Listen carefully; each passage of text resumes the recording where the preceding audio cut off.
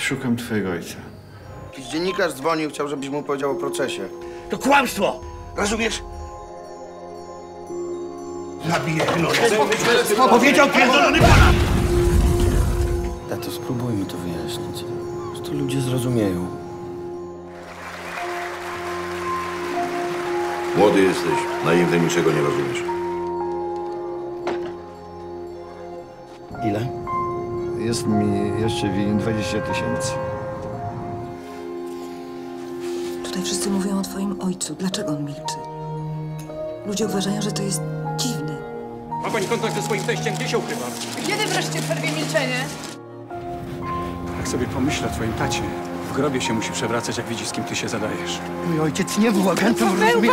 Rozumiesz? Paweł, ty mnie okłamałeś.